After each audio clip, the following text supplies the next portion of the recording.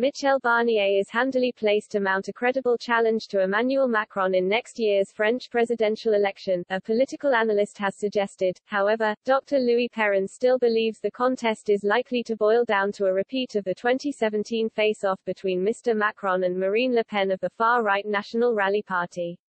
Mr. Barnier, who was the bloc's chief Brexit negotiator, has not confirmed his plan to throw his hat into the ring for 2022. However, speaking as the UK quit the bloc last year, he set tongues wagging by announcing he was available and mobilized.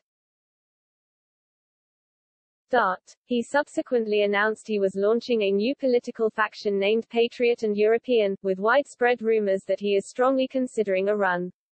Dr. Perrin, a political consultant and scientist based in Switzerland, told Express, he is indeed said to have ambitions, he is apparently testing the waters.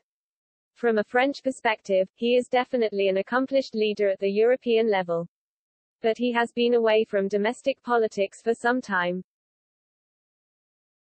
Nevertheless, Dr. Perrin suggested the 43-year-old former financier remained very much in the driving seat, with Mrs. Le Pen his most probably opponent in the runoff election, when the contest is boiled down to two candidates.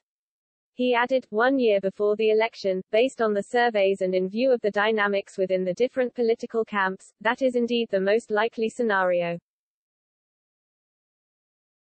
In such a situation, Macron is definitely the frontrunner, but then again, a year has become a lifetime in politics. Who would have thought Macron would win a year before the last election? Assessing the impact of the pandemic on Mr. Macron's chance next year, Dr. Perrin said, all political leaders deal with the same virus, yet some gain in the surveys while others get hurt pretty badly. Macron was among the leaders who first benefited in the surveys when the French saw his crisis management. By now, the French, as all others, get tired and impatient. Again, a prediction is impossible to make. It will all depend on how the French see things a year from now.